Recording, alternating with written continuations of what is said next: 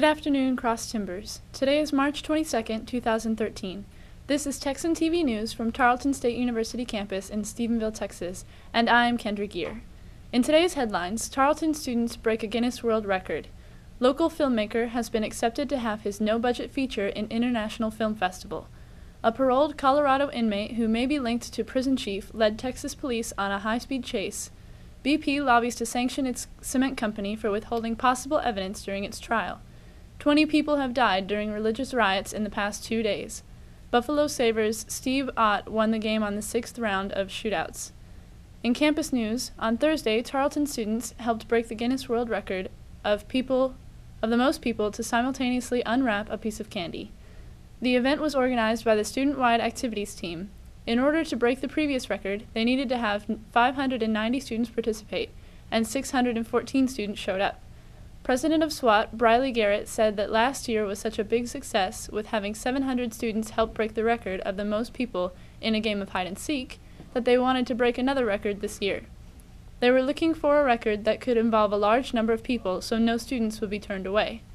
Dutchman's Hidden Valley Country Store in Hamilton, Texas donated all the candy that was used during the event. Garrett said she wasn't sure about future plans to break another record. In Stephenville regional news, according to the Stephenville Empire Tribune, a local filmmaker, Brandon Allen Powell from Gorman, has recently learned his no-budget feature, Trial by Self, has been accepted to the Saint-Tropez International Film Festival in May. According to officials, approximately 60 of the best films are chosen out of thousands of features, shorts, and documentaries that are submitted. Trial by Self was given seven award nods by the committee. Of the 60 features, short films, and documentaries accepted to the festival, Five are nominated for the Best Feature Film category, and Trial by Self is one of them. The film was also nominated for Best Lead Actor James Byron Hauser, Best Lead Actress Kat Angle, Best Supporting Actress Jessica Guess, Best Cinematography Brandon Allen Powell, and Best Editing Brandon Allen Powell.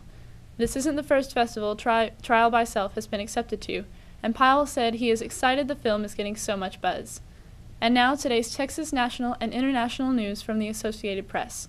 In Texas news, a paroled Colorado inmate who may be linked to killing the state's prison chief led Texas police on a high-speed chase that ended when he crashed into a semi-truck and opened fire before being shot down. Evan Spencer Ebel was reported driving the same Cadillac that was seen leaving the neighborhood after prison chief Tom Clements was shot. Colorado police said there is a strong connection between Ebel and the shooting of Clements and Nathan Leon, a Denver pizza delivery man, but would not clarify if they thought Ebel was responsible. The car chase began when James Boyd, a Montague County deputy, tried to pull over the Cadillac around 11 a.m. in a routine stop. The driver opened fire on Boyd, leading to the chase which ended when he crashed into a semi, trying to evade his pursuers. He opened fire again after the crash, but is not expected to survive. In national news, British Petroleum asked a federal judge to sanction its cement contractor, Halliburton, on the Deepwater Horizon drilling project. BP is accusing the company of withholding critical evidence that could have been used at the ongoing trial regarding the 2010 oil spill off the Gulf Coast. In a late night court filing, BP lawyers cited the company's alleged destruction of cement samples as grounds to rule that the contractor's cement design was flawed before the blowout of the well. BP says its inability to test the missing cement samples impaired its ability to defend itself at the trial. In international news, Opposition National League for Democracy lawmaker Win Htein said at least 20 people have died during the last two days of rioting between Muslims and Buddhists.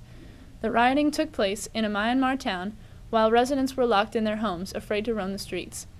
He told the Associated Press Friday by phone that at least five mosques were burned down since Wednesday when the violence started in the town of Meiktila. He said fires continued to burn when angry Buddhist residents refused to allow officials to put out the fires burning on Muslim homes.